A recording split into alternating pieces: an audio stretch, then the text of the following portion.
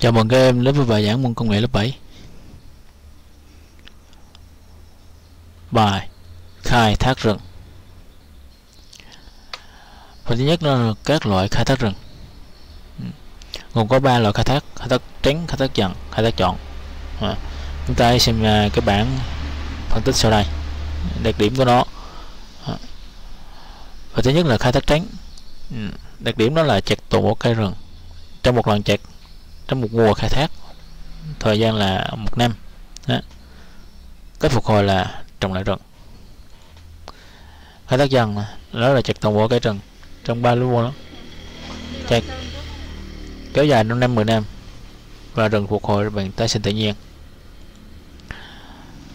Khai thác chọn là chọn chặt một số cây theo cầu, dù vậy cây già yếu, cây ờ, không mọc, cây chết cây sức sống kém và giữ lại những cây khỏe mạnh có chất lượng tốt. Mà số lần chặt là không giới hạn. À, số lần chặt cũng không giới hạn. Và rừng phục hồi bằng cách tái sinh tự nhiên. À, đó là hình ảnh minh họa vậy chọn chặt.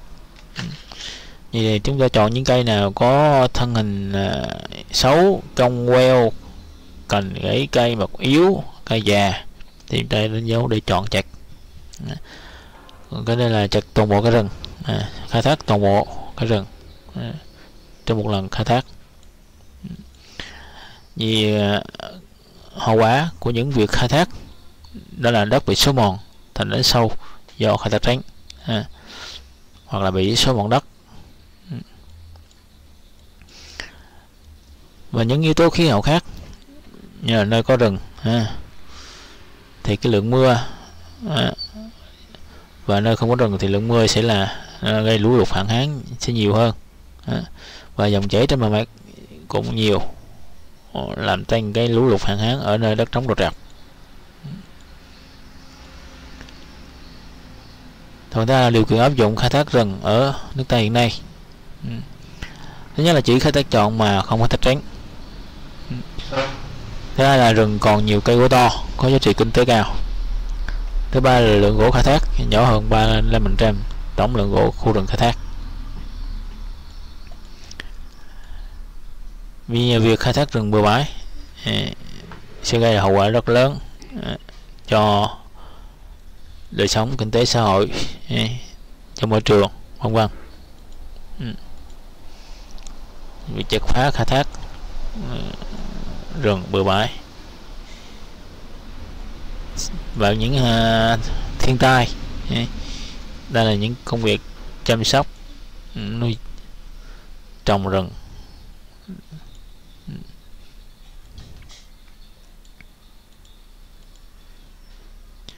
Thứ ba là phục hồi rừng sau khai thác.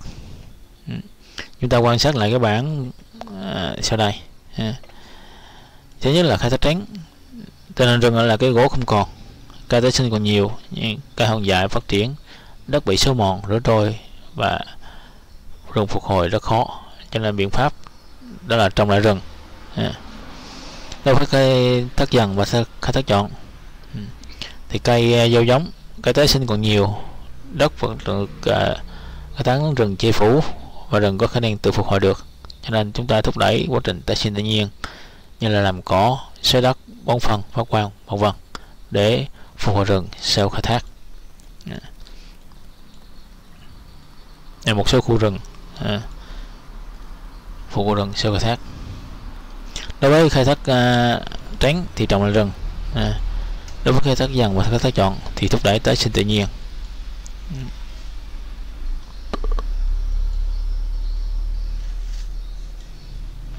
Như bài giảng đến đây là hết. À, xin chân thành cảm ơn các em đã quan tâm theo dõi và các em có những góp ý hoặc đặt câu hỏi gì về bài hãy để lại bình luận ở bên dưới video.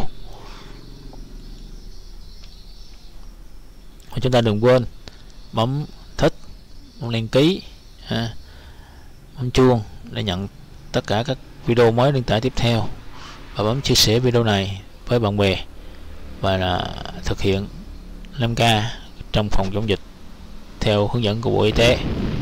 Và chúng ta chờ đón một video mới đăng tải tiếp theo trong thời gian sắp tới. Xin chân thành cảm ơn các em đã quan tâm theo dõi và hẹn gặp lại các em trong bộ giảng tiếp theo à, chúc các em có một sức khỏe và học tốt. Bài giảng đến đây là hết.